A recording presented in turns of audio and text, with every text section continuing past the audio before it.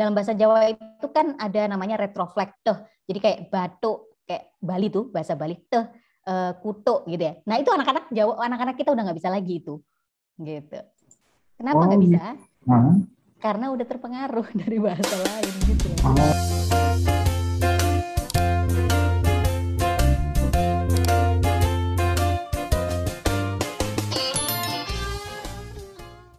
Selamat sore, sahabat literasi, salam sehat, salam semangat. Terima kasih untuk tetap stay tune di podcast literasi komunikasi.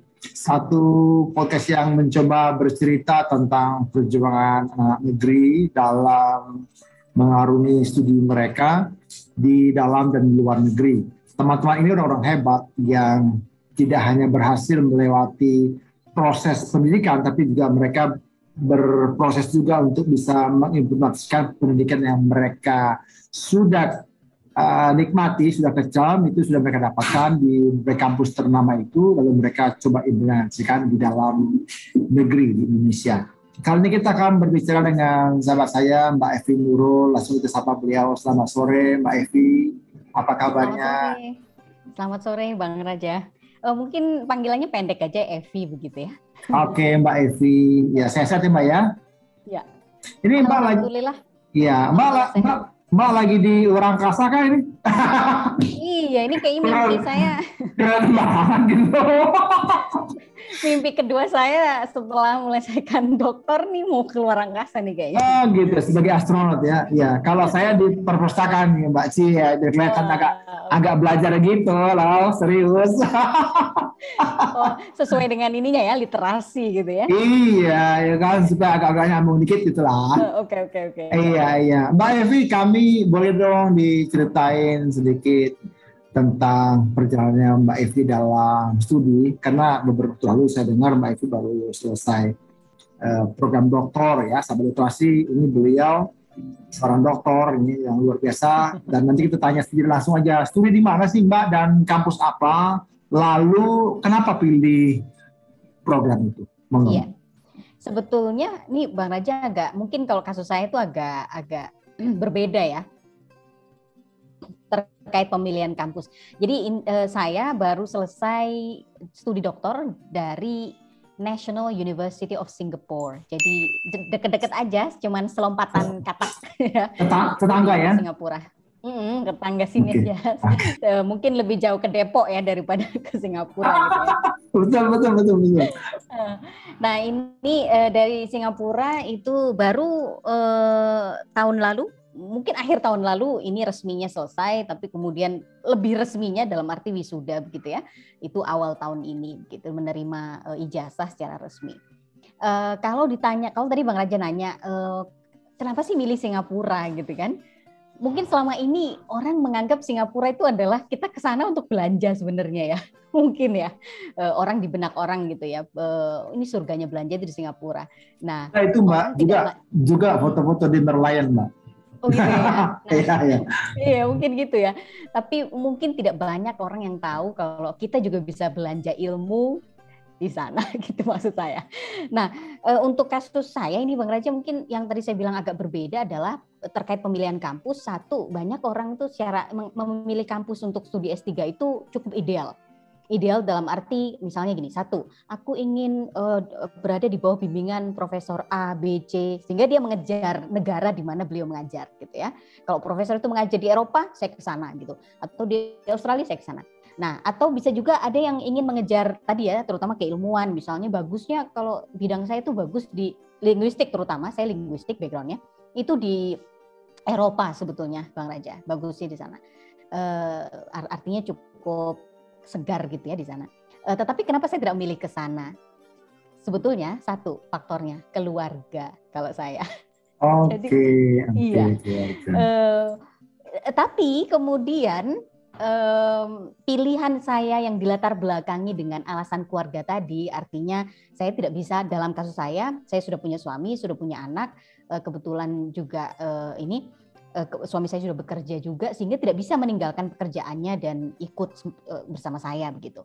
Uh, akhirnya memang harus dikorbankan gitu ya. Dan dalam hal ini ya oke okay lah saya win-win solutionnya adalah saya harus berangkat studi di sebuah negara yang itu terjangkau dalam tanda kutip ya. Jaraknya itu terjangkau dengan rumah gitu. Dalam hal ini Malang ya. Saya dari Malang. Akhirnya dipilihlah Singapura uh, namun ternyata ini Bang Raja yang uh, saya bilang hikmah terbesar ya dalam hidup saya salah satunya ini. Ketika saya uh, membuat keputusan bahwa oke okay deh ya udah deh saya ke Singapura padahal gitu ya. Tanpa tahu sebenarnya Singapura itu seperti apa ya uh, apa keilmuan linguistiknya dan sebagainya sebagainya. Tanpa itu tak saya tahu. Uh, saya pentingkan dulu kepentingan keluarga saya.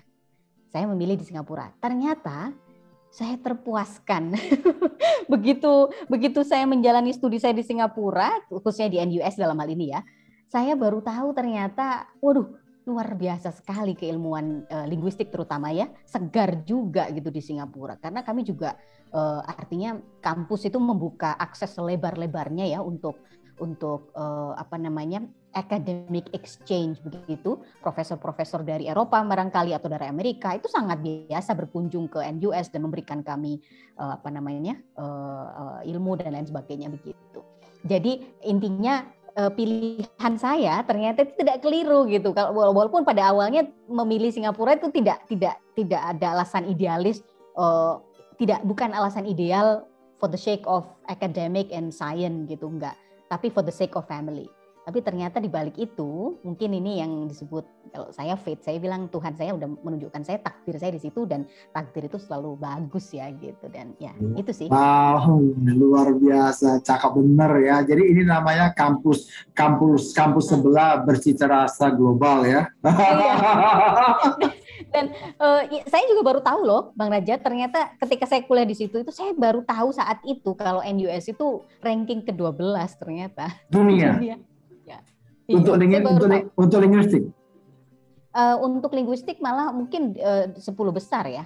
Eh, oke, iya, oke. Okay. Ya, secara umum okay. waktu itu 12 ke 12 dan saya nggak tahu itu sebelumnya. Gitu. Wow. Jadi biasa.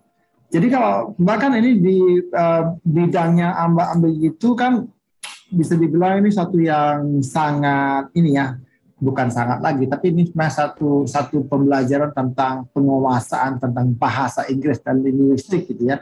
Nah kemarin kira-kira tentang apa nih mbak risetnya mbak? Nah itu dia riset saya itu ternyata juga cocok sekali dengan konteks Singapura karena Singapura itu kan melting pot.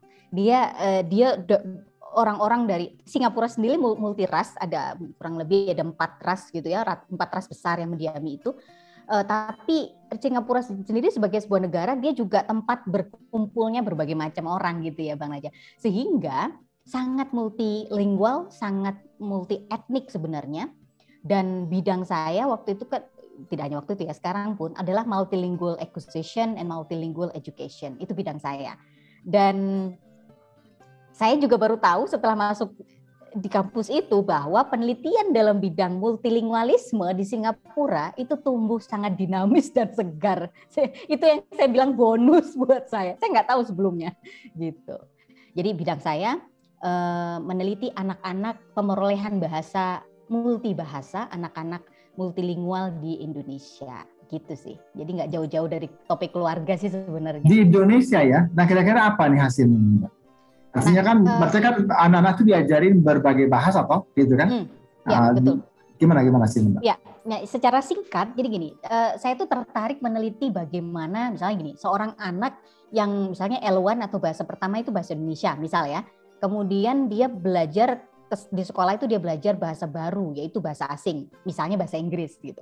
Ada juga kurikulum di Jawa Timur terutama itu bahasa Jawa. Jadi eh, pada saat yang sama si anak itu belajar tidak hanya satu bahasa, tapi dua bahkan tiga bahasa. Nah, fokus penelitian saya atau mungkin pernah saya itu penasaran gitu.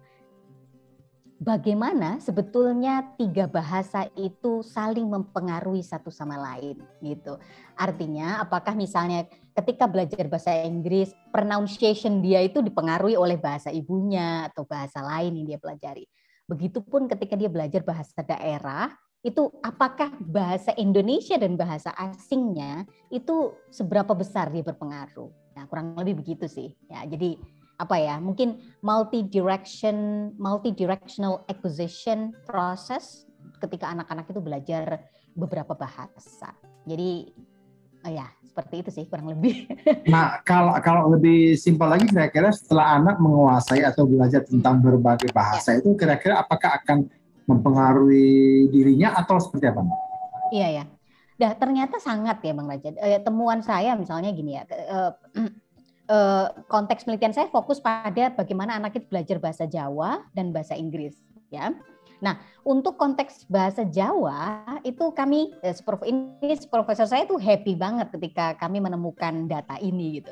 Artinya anak-anak itu cenderung mengalami bahasa Jawanya itu cenderung mengalami pergeseran fonologis. Jadi ada uh, apa ya semacam fitur bahasa dalam bahasa Jawa itu yang tidak lagi bisa diperoleh dengan sempurna oleh anak-anak ini. Kenapa? Itu tadi karena dia terpengaruh oleh bahasa Inggris dan bahasa Indonesia. Jadi barat kata gini, contohnya aja deh Bang Anjam. Misalnya dalam bahasa Jawa itu kan ada namanya retroflektor. Jadi kayak batuk kayak Bali tuh bahasa Bali tuh uh, kutuk gitu ya. Nah itu anak-anak Jawa, anak-anak kita udah nggak bisa lagi itu, gitu. Kenapa nggak oh, bisa? Hmm. Karena udah terpengaruh dari bahasa lain gitu loh. Oke. Okay. Tapi itu itu itu dampaknya positif atau negatif tuh mbak? Oh, sangat negatif dong. Artinya sangat negatif. Iya, artinya ketika anak-anak kita sudah tidak bisa lagi memperoleh satu fitur yang itu penting dalam dalam bahasa Jawa, ya udah bisa ketebak nanti bagaimana sebetulnya arah bahasa Jawa itu sendiri. Artinya uh, bahasa bahasa Jawa itu makin mungkin ya makin berubah berubah bentuknya atau mungkin anak-anak kita tidak lagi memilih itu sebagai bahasa yang penting untuk dipelajari karena mungkin ah, kok rumit dan lain sebagainya.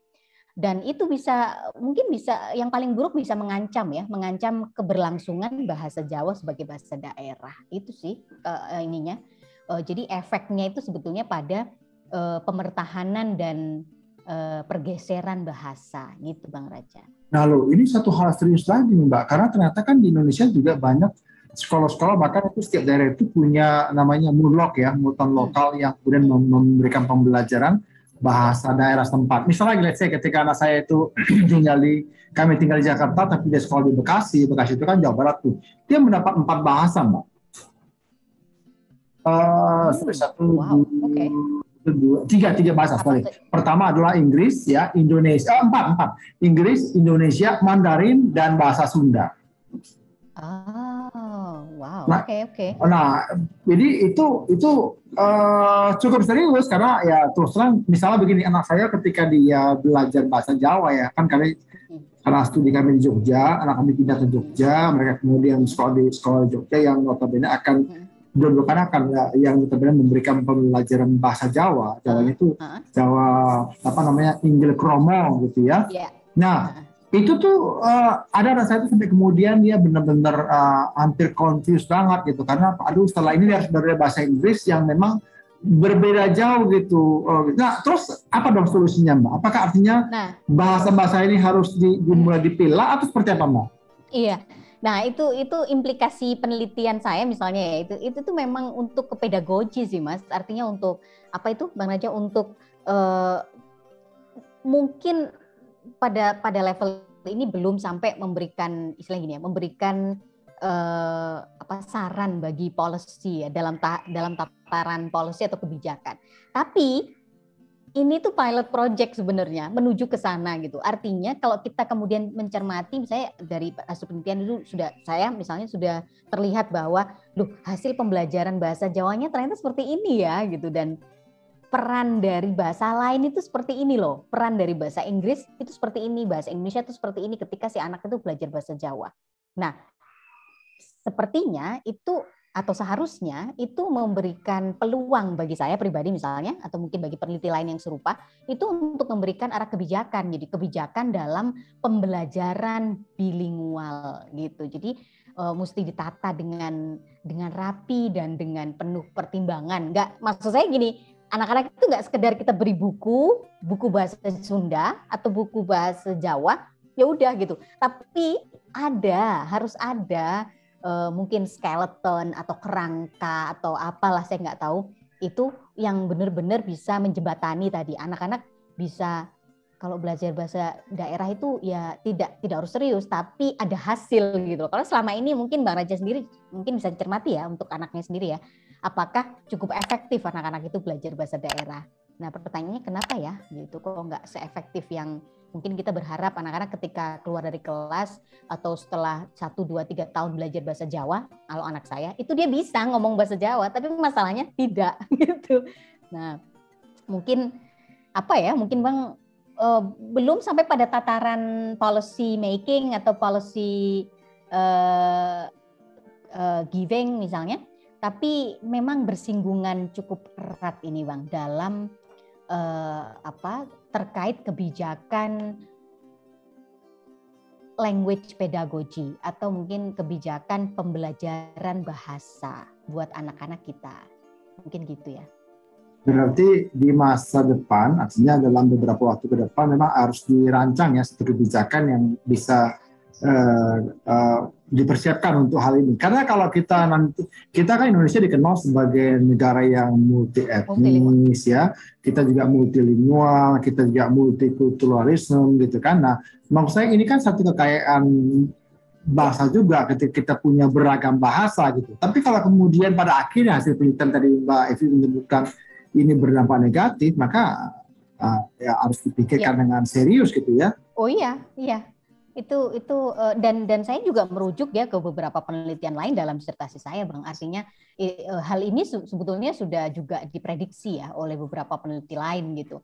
Artinya uh, konsep yang barangkali perlu diperbaiki ya, konsep pembelajaran bahasa daerah terutama itu mungkin yang perlu perlu apa ya mungkin dilihat ulang kali ya atau dikaji ulang barangkali gitu artinya nggak sekedar oke okay, bilingual education ya udah diajarin aja deh bahasa lain gitu tapi ada kalau kita merujuk pada beberapa misalnya di Amerika atau di beberapa negara lain meskipun berbeda konteksnya atau settingnya ya Uh, tapi ada model-model bilingual education yang ditata cukup rapi sehingga anak-anak itu menghasilkan anak-anak yang bisa disebut sebagai balance bilingual. Jadi dia itu bilingual dan itu balance, nggak ada yang satu dominan, satu yang yang nggak dominan gitu.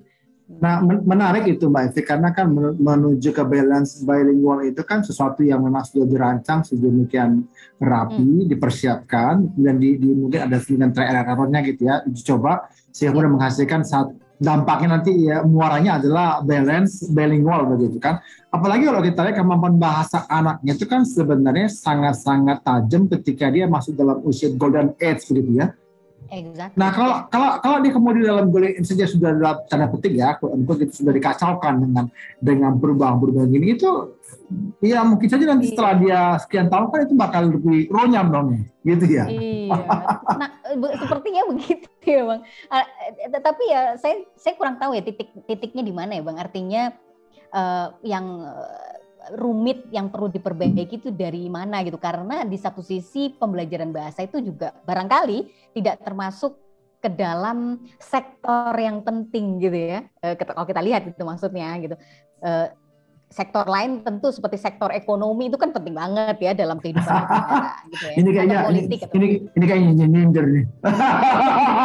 maksud saya, maksud saya selama ini memang lo ya nggak kan kita nggak sadar loh kalau betul, when it comes betul. Pada, gitu padahal kan. padahal kalau mau ke mana-mana mau sekolah di mana pun itu bahasa dinilai dulu ya betul ya iya iya oke jadi sama literasi kami berharap ini podcast ini bisa didengarkan uh, para pemangku kepentingan sehingga kemudian teman-teman di pemerintah bisa belajar sesuatu yang penting bahwa ya kita perlu juga merancang kurikulum pendidikan yang ya sesuai dengan kearifan lokal begitu ya. Betul kearifan lokal kita memelihara uh, bahasa daerah. Kalau bahasa daerah kita kemudian mulai mulai uh, campur aduk gitu karena kita sendiri juga akhirnya kehilangan akarnya nanti sebenarnya bahasa aslinya apa gitu ya. Itu kan sama sama kayak gini Mbak ada cerita bilang Mbak kalau kalau misalnya orang uh, Rusia itu berbahasa Inggris kan agak memang medok banget gitu ya how are you friend? Gitu ya. Hi friend how are you? Ini R-nya itu sangat sangat kental gitu kan. Nah padahal sebenarnya eh, ketika mereka berbahasa Rusia juga ya mereka sangat cair begitu kan. Nah itu itu. Jadi saya berharap sih sahabat literasi dan mungkin ya harapannya ada ada dari pemerintah yang bisa melihat podcast ini uh, mari kita juga mulai memikirkan dengan serius. Karena bahasa ini kekayaan Indonesia gitu ya. Ada sekian banyak budaya Indonesia, ada sekian banyak uh, suku yang memiliki juga bahasa-bahasa yang berbeda. Misalnya di kampung saya nih, Mbak Mbak Evi, di ya, ya, Sumatera. Utara itu di, di tepatnya di Tapanuli, itu ada kurang lebih lima bahasa, Mbak. Tapanuli hmm. Utara, Batak Toba, ada Batak okay. Batak Dairi, Papa, ada Batak Simalungun, ada Batak Karo, ada satu lagi Batak oh. apa gitu, Batak Mandeling itu tuh lima loh. Lima itu masing-masing itu punya arti yang berbeda-beda, meskipun ada yang mungkin yang beririsan gitu. Nah kalau itu kemudian akarnya itu bergeser kan lama-lama ya kalau sekarang mungkin satu satu mili ya kalau 25 puluh tahun lagi kan bisa jadi dua meter tuh bedanya gitu ya. Iya, betul. Betul sekali gitu. Dan wow. kita kita sadari gitu. Satu penelitian yang saya pernah baca dan ini menarik banget. Uh, apa namanya uh, apa satu penelitian yang dilakukan oleh uh, seorang peneliti ya di Cornell itu meneliti bahasa Jawa. Uh, dan dia menemukan bahwa bahkan bahasa Jawa yang menjadi bahasa dengan penutur jumlah penutur paling banyak itu juga sedang bergeser. dalam ya beresiko untuk bergeser gitu, beresiko hmm. untuk um, mungkin punah ya gitu. Padahal itu bahasa hmm. paling banyak loh. Artinya penuturnya itu paling banyak itu, artinya paling powerful ya dalam dan dan juga hanya di Indonesia penuturnya sampai ke Suriname juga ya. Iya betul. Suriname kan bahasa bahasa Sunda kan masih Jawa kan? Iya. Apalagi bahasa-bahasa dengan jumlah penutur yang barangkali lebih sedikit gitu ya. Kalau ya, sudah ada betul tidak ada uh, peran dari pemerintah sebagai pemegang kebijakan atau mungkin orang yang punya otonomi begitu ya.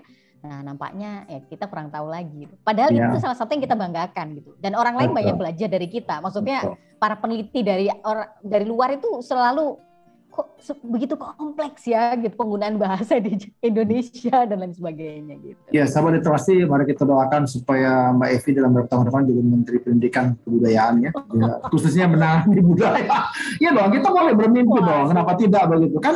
Artinya kita harus serahkan pada ahlinya itu kata Pak Fauzi Bowo gitu ya, supaya benar-benar ini gitu ya. dipelihara dengan baik itu. Ini satu kekayaan alam, kekayaan gitu. kekayaan Indonesia yang memang tidak ada di mana pun begitu ya. Nah, menarik sekali. Ya. Oke, Mbak Evi tadi sebutkan Mbak Evi kan ke ke Surabaya, ke Surabaya lagi, ke Singapura itu kan studi ya, studi ya. Singapura ya tentu saja biaya hidupnya juga cukup mahal di situ ya. Nah, iya. gimana Mbak? Itu kemarin studi pakai tabungan sendiri ya? Mantap ya, makan makan tabungan atau bagaimana? Dari mana oh, pembiayaannya, Mbak? Ada istilah baru ya, mantap. Ada, mantap, uh, makan tabungan. Oh, kemarin oh, gimana, Mbak? Itu dapat dapat pembiayaan dari mana? Waduh, saya sih dapatnya dari the one and only ya, LPDP gitu. Oh, itu Mbak LPDP lembaga lembaga pengelola dan pendidikan. Iya, dana pendidikan eh, Republik Indonesia ya. Okay. Eh, sepertinya eh, Abang juga mendapat dari LPDP bukan? Oke. okay. Um, ya. It, ya itu itu rahasia kita Mbak. Nah, oke. Okay. Oke okay deh. Tapi artinya Mbak Evi dapat dari LPDP mm -mm.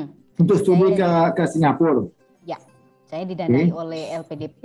Waktu itu saya ini cerita ada cerita di balik itu juga. Saya sebetulnya mendaftar LPDP itu dua kali, bang. Jadi pertama kali itu gagal. Sama-sama di tahun oh maaf pendaftaran pertama itu di uh, akhir 2015 saya gagal. Kemudian saya mencoba lagi di awal 2016 dan hmm. alhamdulillah berhasil. Nah, eh, saya sempat melakukan riset kecil. Kenapa si dalam tahap dalam pendaftaran saya yang pertama itu gagal? Dan itu saya perbaiki di kedua. ya agak-agak riset ini aja sih gitu, ringan-ringan aja gitu. Uh, apa namanya? Uh, Iya begitu sih ceritanya. Nah alhamdulillah sih yang kedua di, diberi dana ya oleh LPDP dan luar biasa supportnya sangat from A to Z nampaknya juga di cover ya gitu.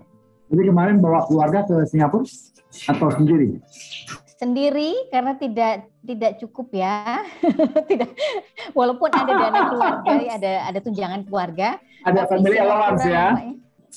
Uh, uh, nampaknya oh. tidak belum ramah dalam hal ini ya, belum ramah. Kebijakannya Singapura berbeda bang. Uh, dalam hal membawa keluarga itu sangat ketat. Mereka maklum ya, mereka mungkin mereka mempertimbangkan tempat tinggal dan banyak lah ya, uh, tidak seluas Indonesia yang bisa kos di mana aja gitu.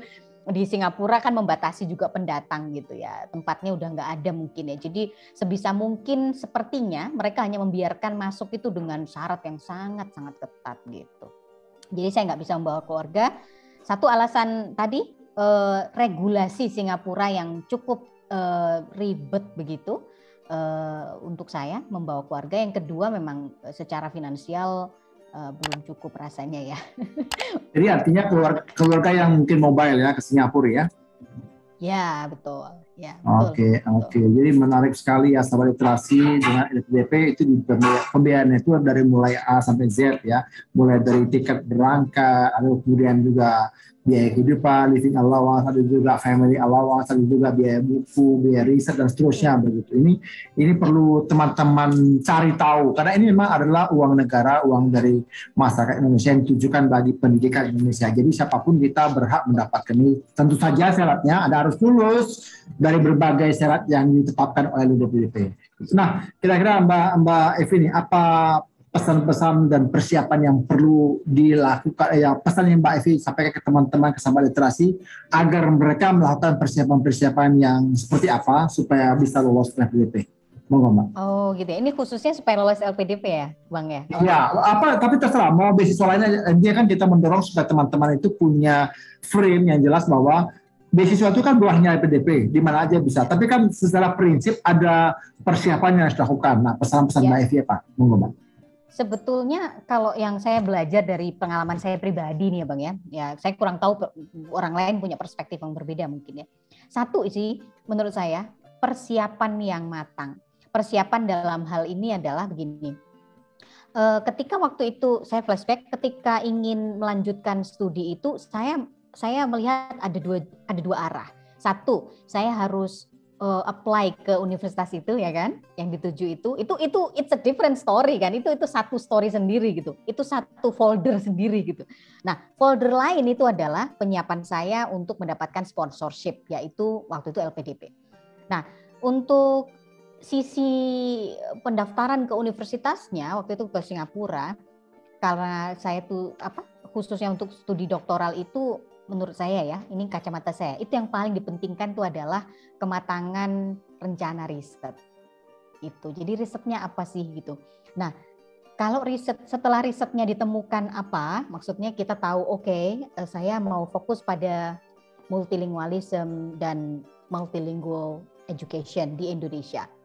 Setelah itu baru tahap berikutnya adalah memastikan bahwa kampus itu memiliki pakar dalam bidang itu. Karena kalau kalau kita mau mau apply ke NUS misalnya untuk satu topik uh, mereka akan tanya topik risetmu apa.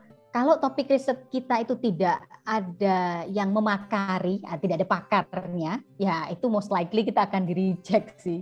Bukan karena kita nggak mampu, tapi karena tidak ada pakar yang akan bisa membantu kita dalam riset kita. Gitu sih sebetulnya. Jadi uh, ya di, tentu IELTS uh, mungkin ada juga GRE dan lain sebagainya tentu itu juga jadi persyaratan uh, utama ya. Tapi menurut saya beyond those um, uh, apa namanya requirement itu yang paling penting itu memastikan bahwa lo nanti bakal ada orang yang bantuin lo di situ gitu. Maksudnya ada ada supervisor lah gitu yang siap gitu untuk membantu.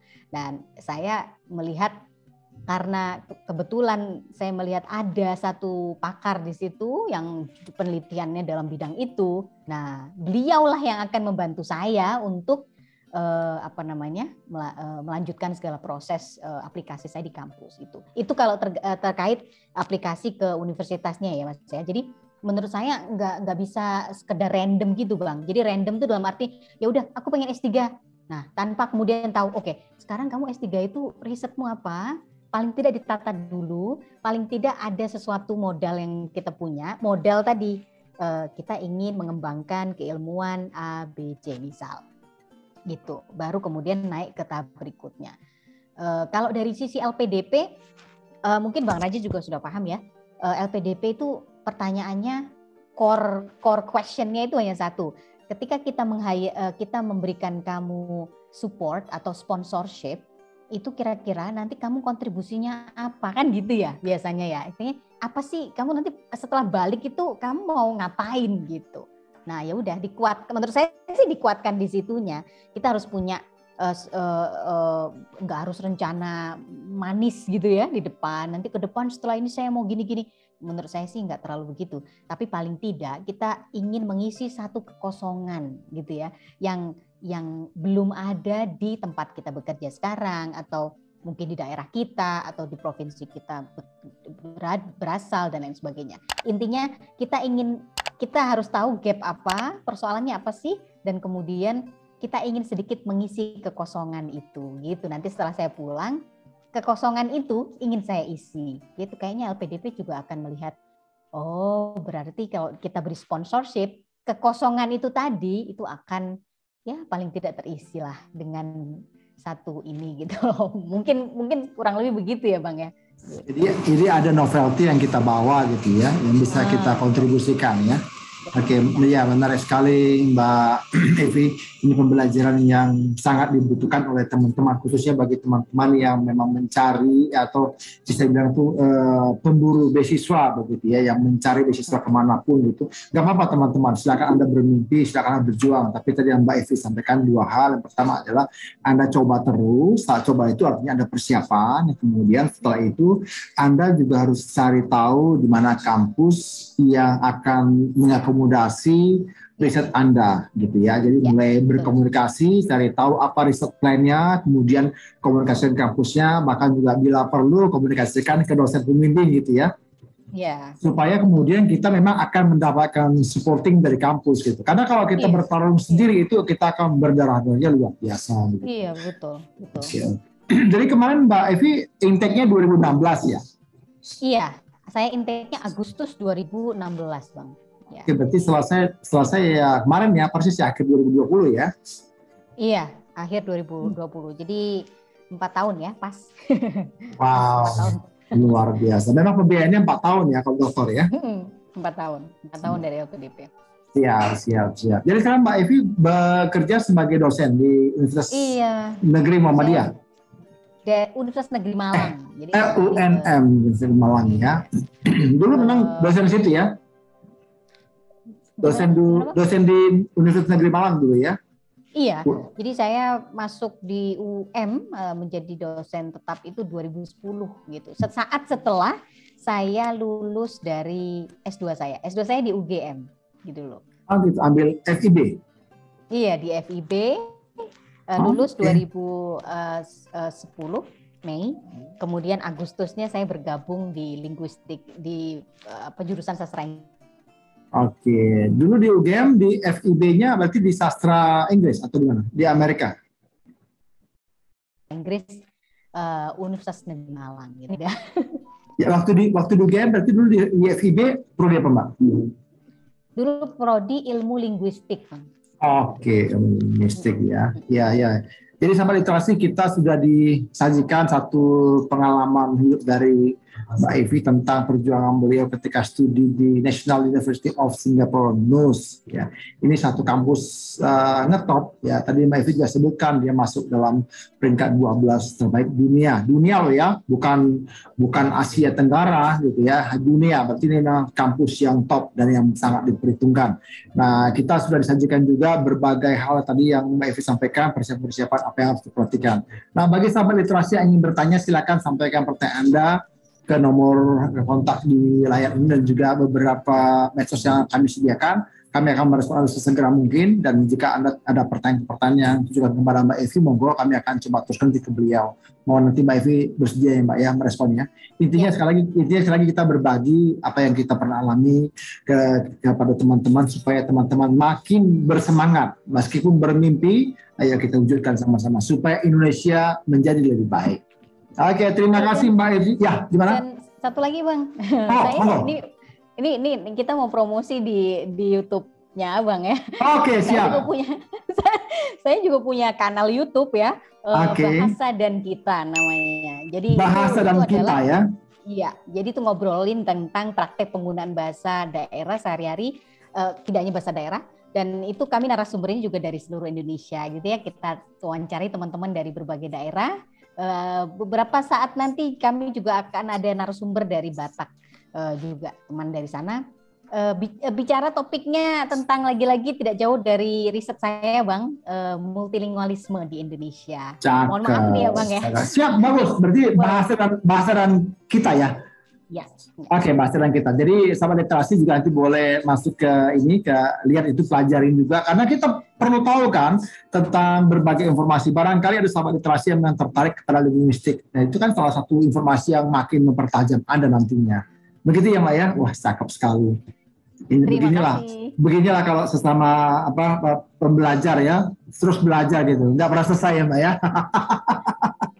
Oke, okay. ya Mbak Evi, terima kasih sebelumnya Mbak Evi untuk waktunya. Salam sehat, salam hormat untuk keluarga. Sahabat literasi, saya Raja Nabi Tepuluh.